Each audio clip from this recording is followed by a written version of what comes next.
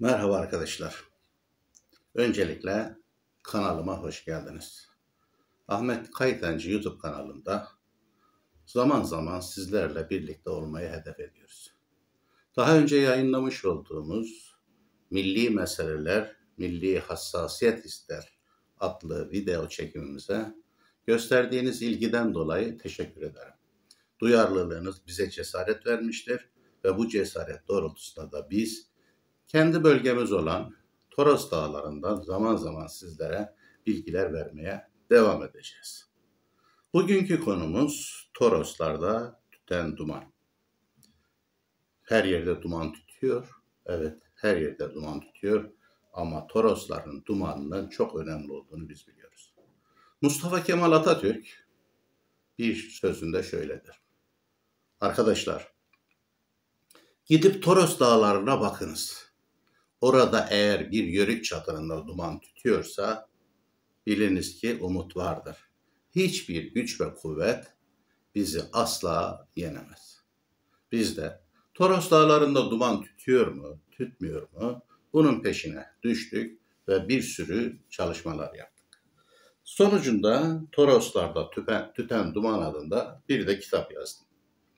Bu kitabı yazarken sürekli aklımda Mustafa Kemal var.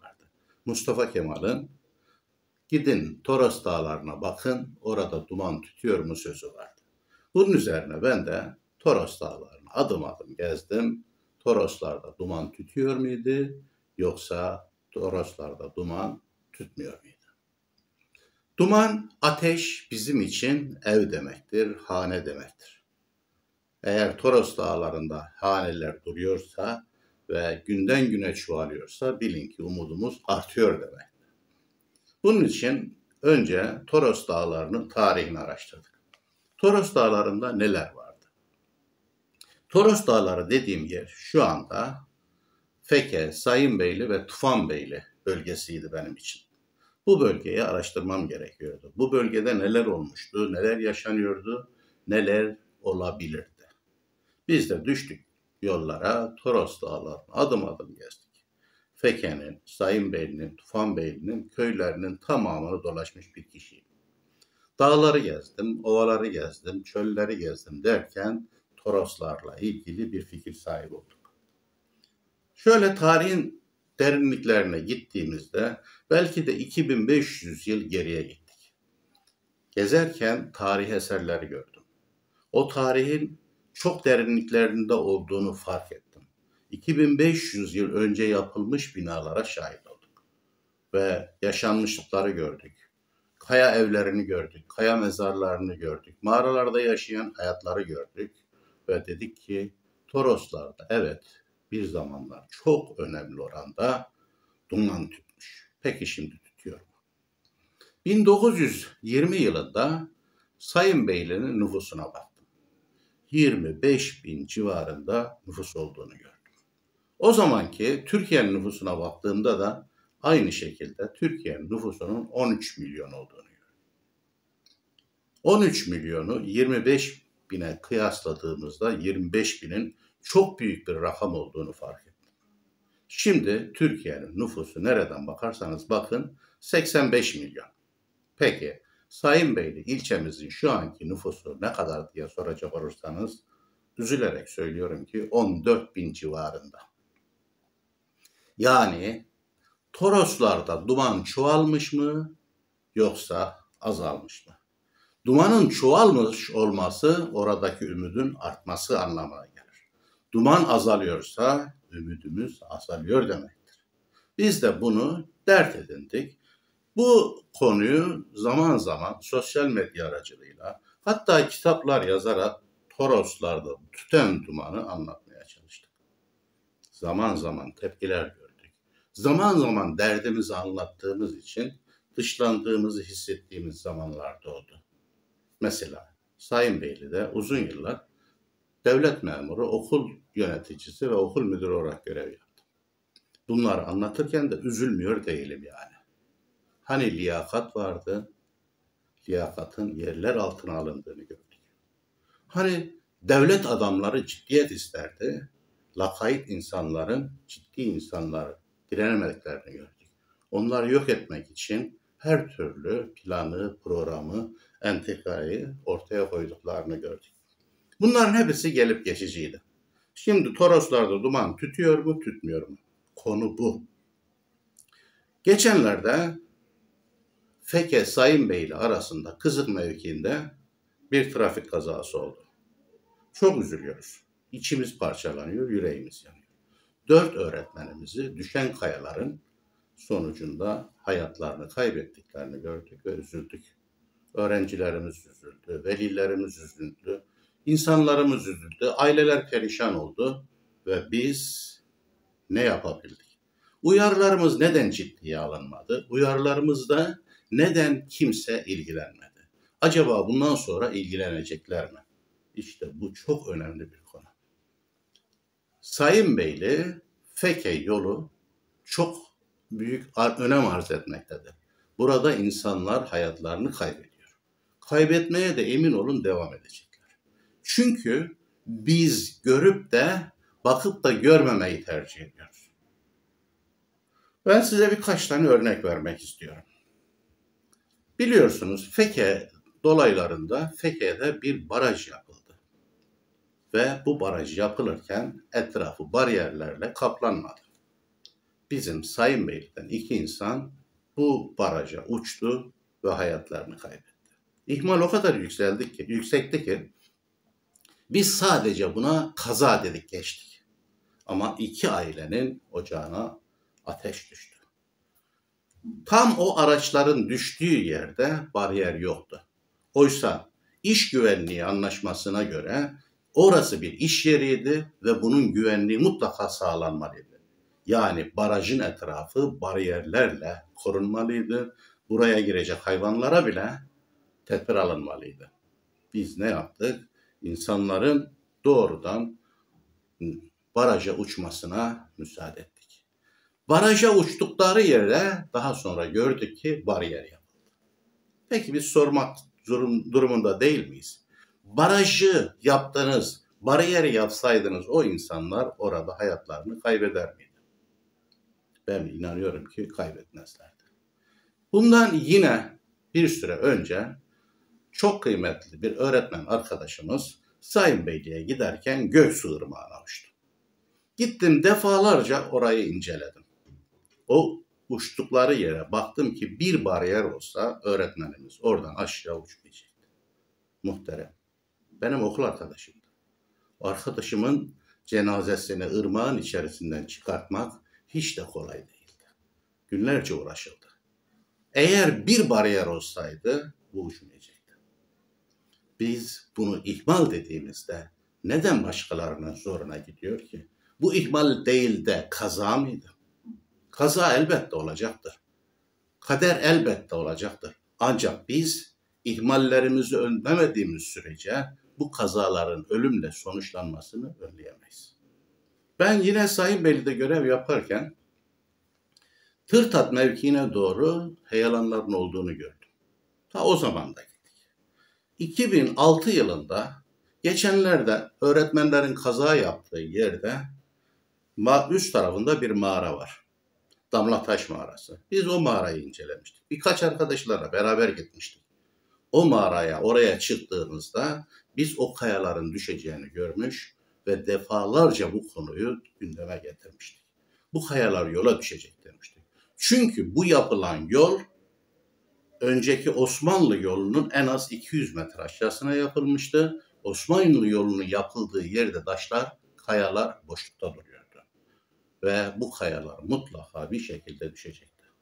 Belki bir davarın keçinin ayağının değmesi sonucu düşecekti. Belki bir depremin olması sonucu düşecekti ama mutlaka bu kayalar ana yola düşecekti. Bunun uyarılarını da defalarca yaptık.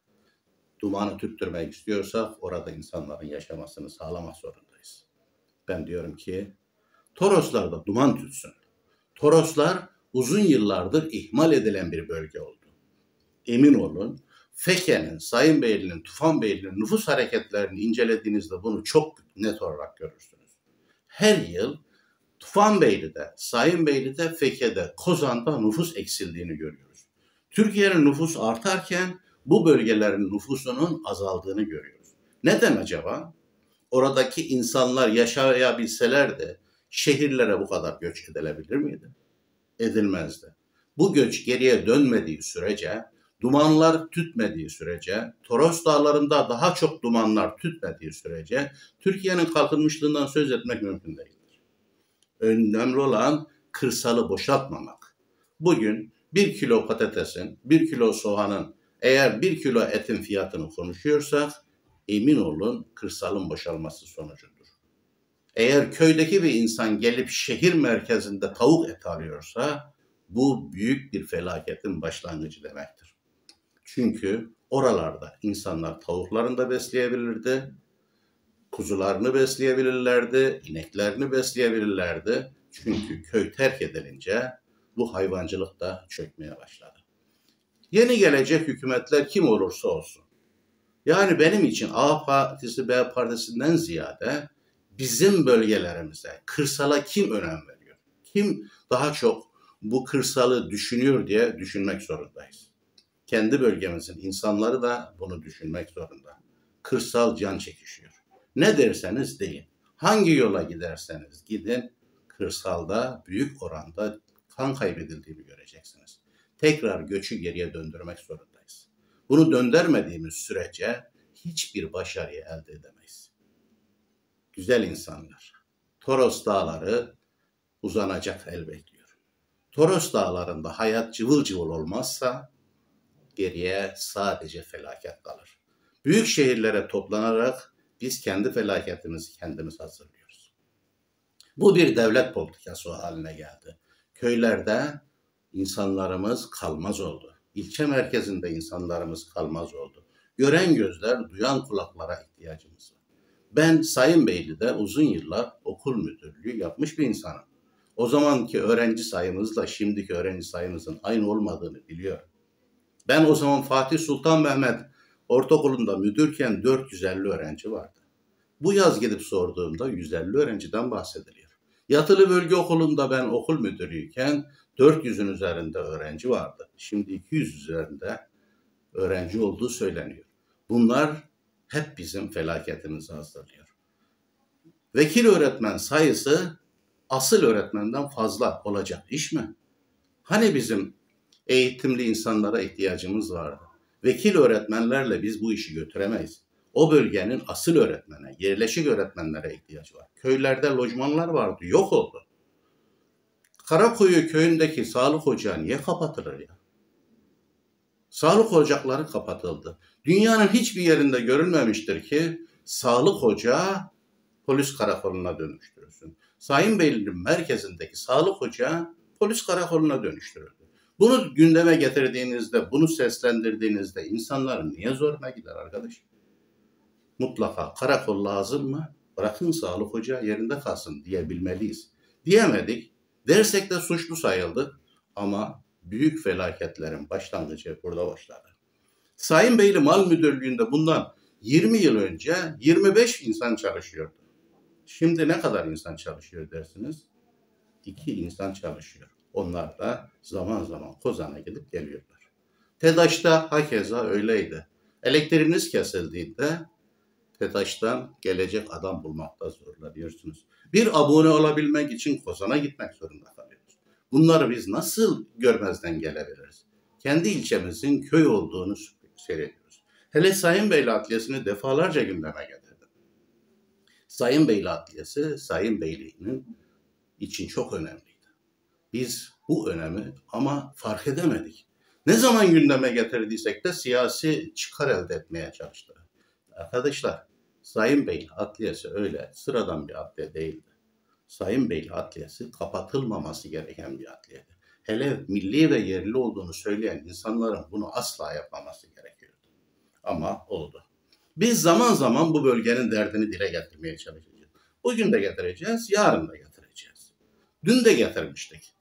Ama bunlar dinlenmeli. Benim hemşerilerimden ricam şudur. Memleketinize sahip çıkın. Şahsi menfaatler için memleketimizin menfaatini öteleyemeyiz. Şahsi menfaatler gelip geçici. Ölmeyen insan mı kaldı ya? Hepimiz ölüp gideceğiz.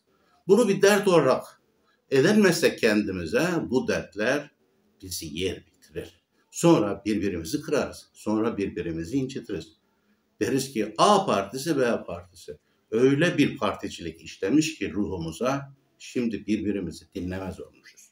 Derdini söyleyen insanları, memleketin derdini söyleyen insanlara hemen dört koldan saldırıyoruz. Yapmayın arkadaşlar. Yapmayın arkadaşlar. Bu olacak iş değil.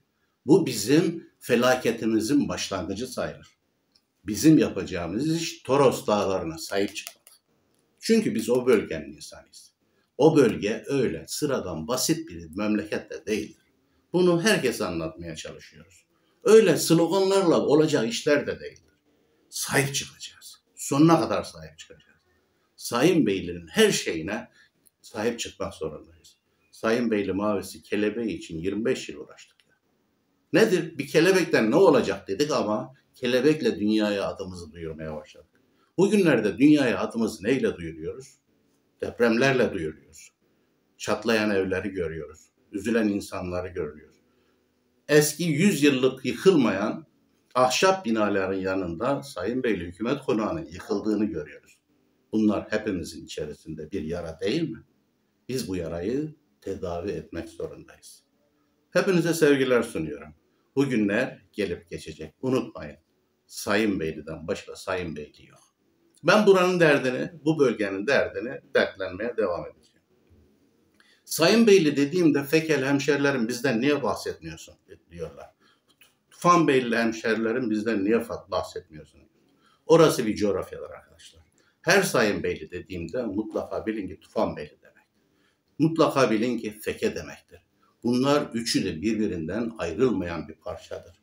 Çünkü üçünün de kaderi aynıdır. Sır eliften yukarıya doğru giderken Turaç kuşlarının gitmediği yerde biz varız. Turaç kuşlarına oralara kadar ulaşmadı. Evet oralarda ardıç kuşları vardı. Ardıç kuşları sağlam kuşlardır. Bizler o bölgenin sert çocuklarıyız.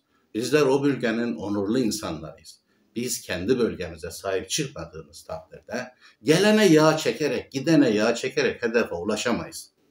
Biz önce birlik ve beraberlik içerisinde hareket etmek zorundayız. Ve ben bunun için diyorum ki bir olun, iri olun, diri olun.